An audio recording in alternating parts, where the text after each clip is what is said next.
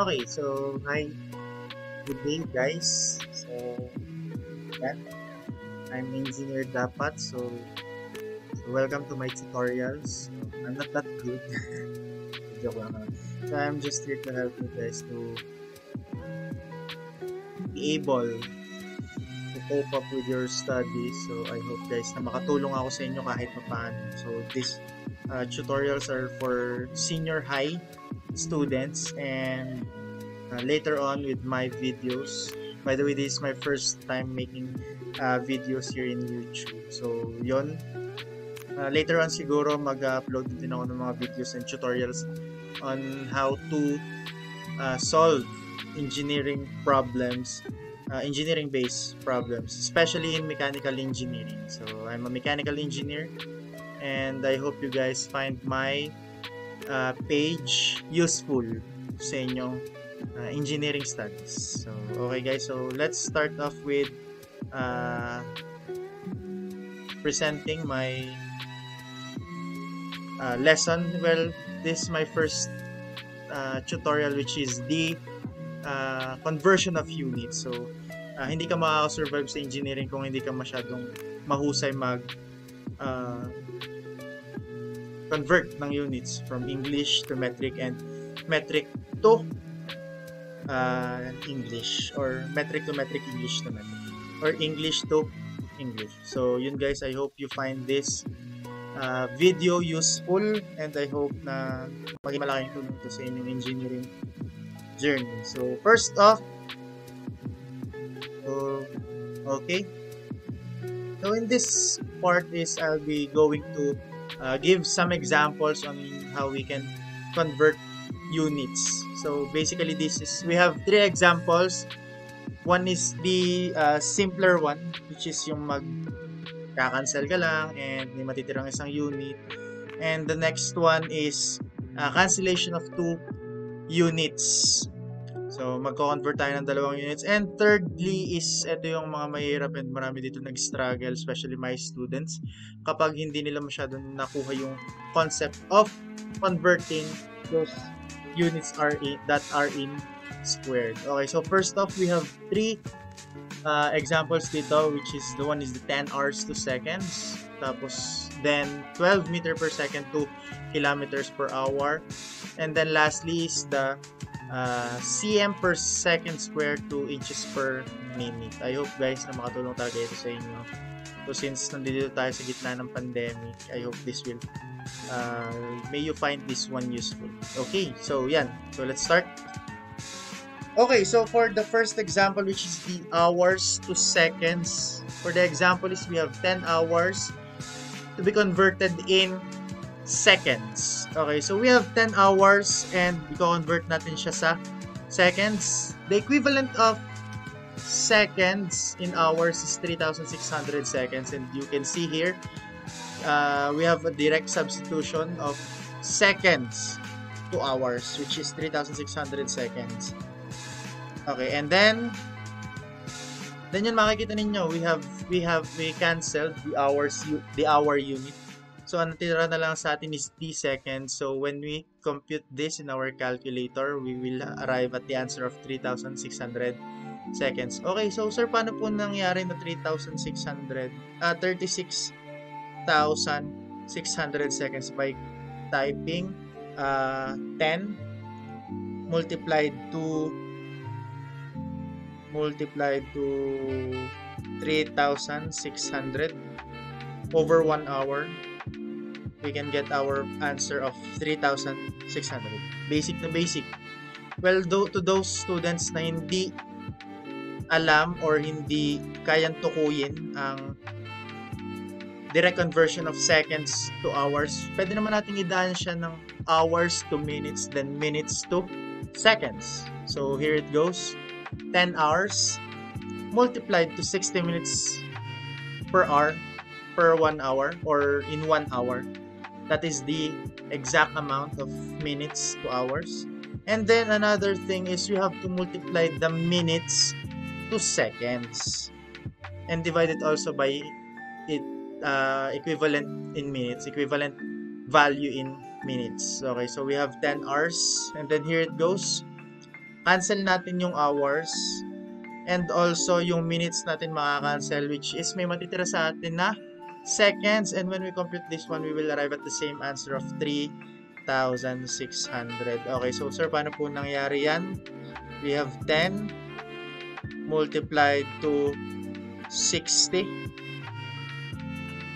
all over 1 60 minutes over 1 minute. And also another multiplication of 60 uh, seconds in 1 minute. Okay, so we can we will arrive at the uh, our answer of 36,000 seconds. So we have the same answers with different methods. So basically, wala namang magiging problema dyan. Direct substitution or direct conversion lang natin yan from hours to seconds. So let's move on to a little bit difficult situation which is the meters per second to kilometers per hour. So, sir, paano po mangyayari yan? So, we have the, this example of 12 meters per second to kilometers per hour. Okay, so let's write 12 meters per second. So, in this manner, kailangan muna natin mag-cancel uh, ng 1 unit uh, at a time. So, dito is, guys, medyo nagkaroon lang ng konting uh, pagkakaiba. So, here, is the 12 meters per second multiplied to 1 kilometer all over 1,000 meters. Sir, bakit po nangyari ganon? So, the equivalent of 1 kilometer 2 meters is 1,000 1,000 meters. So, so dito, makakancel natin si meters. And if we go, if we're going to multiply again the second, since our second is our divisor, ang mangyayari sa atin is we have to multiply it to seconds para makancel natin yung second unit natin. And ang matira na lang sa atin is yung uh, kilometer per hour. So we can see it here in here that we can cancel the uh, meter since one is uh, the divisor and one uh, and the other one is uh, dividend. So we can cancel it out. Same goes for the second. We can cancel it out and we will uh, we will have remaining units of kilometers per hour. Okay? So when we compute this one, we will arrive at the answer of 43.2 kilometers per hour. So you have a doubt? So let's give it a try. I-solve natin and we can see this one uh, appearing that we have the answer of uh, 43.2 kilometers per hour. Okay, so 12 multiplied to 1 over uh, 1,000. And last column is 3,600 all over 1. So we will arrive at the answer of 216 all over 5. But then again, we have the answer of 43.2. And how will we go into that? By clicking here as to the this one Okay, so vicinit SD 43.2 kilometers per hour. Okay, so that's how you uh, convert unit uh, to two units uh, conversion of two units. Okay, so the next example or the last example is the 3 or the centimeter per second square to inches per uh, minute square or square minute. So, dito medyo tricky, medyo mahirap to. So, but then again, we just have to uh, cancel the units one by one. Okay ba? Okay, so here it goes. 3 centimeters per second square multiplied to inches per cm mapapansin nyo dito is hindi direct yung ating value of uh, inches to centimeters unlike the kilometers to meters. So since this the other one is from the English and the other one is from the metric. So hindi talaga sila magkakapareho. Dahil alam naman natin the English measurement normally consists of body parts and talagang hindi sila sumasakto. Hindi sila fix, I mean hindi sila sumasakto ng uh, 10 10 meters or 100 meters or or something like that. Unlike for the metric na by hundreds, by thousands, sumasakto sila. So here goes.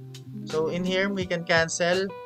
Uh, uh, we will be dividing the 1 inch to 2.54 centimeters. Uh, 1 inch is equivalent 1 inch is equivalent to 2.54 centimeters.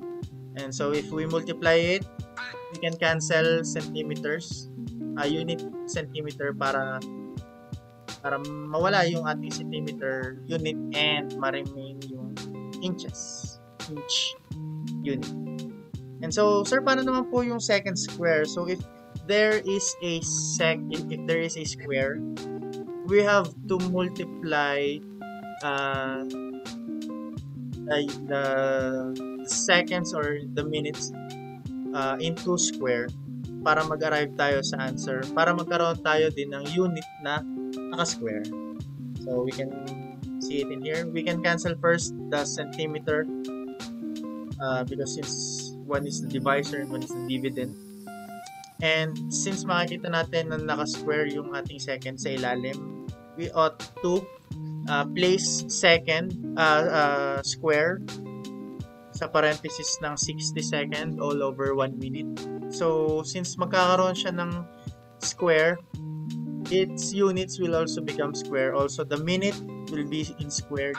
So, we can cancel out the seconds we can cancel out the second second square and uh, the remaining uh, units will be inches per uh, minute square or square minute.